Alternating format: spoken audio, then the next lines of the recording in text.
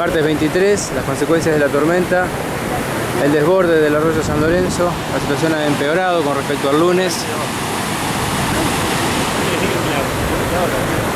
La guardería náutica está a nivel con el arroyo.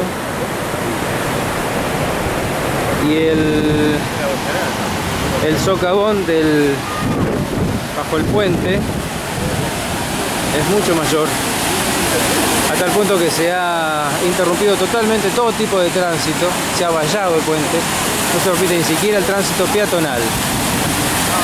Así es como ha quedado, se ha desmoronado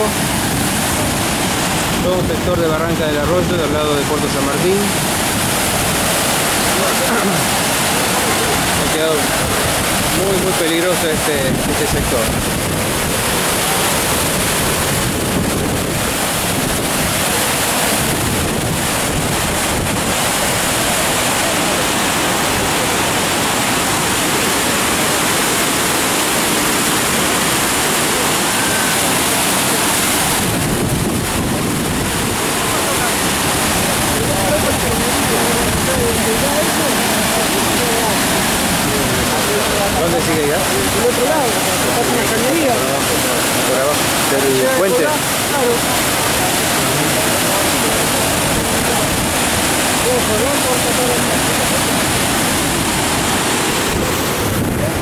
Este sector se ha transformado en este momento en un mirador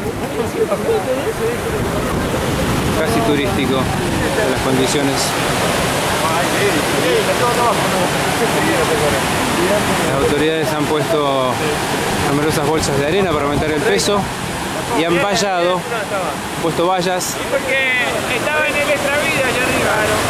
en ambas cabeceras del puente para impedir el paso. Estamos al mediodía del martes 23 de octubre de 2010, margen izquierda del arroyo San Lorenzo, del lado de Puerto General San Martín. Con ustedes, Gabriel Gómez Fiori para nuevaregión.com. ちゃんと。